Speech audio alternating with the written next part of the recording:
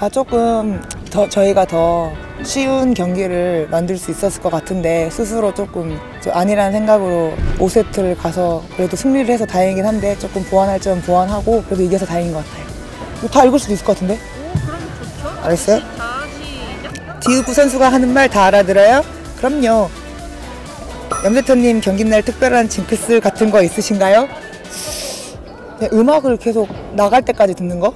음. 염세터가 가장 마음에 드는 별명은 마음에 든다기보다 주위에서 항상 염치기라 그러니까 그냥 염치기가 익숙한 것 같아요. 어 어디 염씨예요? 귀여? 읽고 싶은 거면 읽어. 어 어떻게 하면 매일 이렇게 플레이 센스가 넘치고 센스를 먹고 사시는 건가요? 어 패스 죄송해요 생각이 안 나네. 언니 MBTI는 섹시죠? 뭐 섹시하단 말 처음 들어봐요. 뭐 우, 호응해줘요 호응. 진짜로 토스 할 때 염력 쓰시나요? 제가 정말 염력을 쓸 수 있었으면 토스 이렇게 안 했겠죠. 연애 선수는 쉬는 날 뭐예요?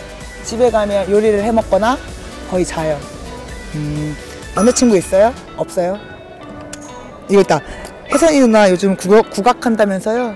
어메이징. 아, 이거 분위기 어쩔 거야. 다섯 살 오지영, 오지영 다섯 명. 지원이 다섯 명은 힘들지 않나? 다섯 살 오지영? 아, 다 다섯 살 오지영? 어, 나와요. 아, 나왔어요. 안 해요. 어, 나왔어요. 나왔어요. 대한민국은 사면이 바다래요. 동해, 서해, 남해, 염해선 사랑해. 아직도 안 됐어? 언니는 C급 같아요. 내 심장 고쳐주기 C급. 다 읽었어요? 아니요. 몇 개 남았어요? 좀 많이 남았어요. 많이 남았어요? 응. 마지막 딱 하나만. 염혜선 선수의 전생은 거북이네요. 왜냐하면 항상 경기 보는 제 마음을 터트렸잖아요. 진짜 집에 가고 싶다. 현재 여기 현이 있다. 현재 기분은 집에 가고 싶다. 감사합니다.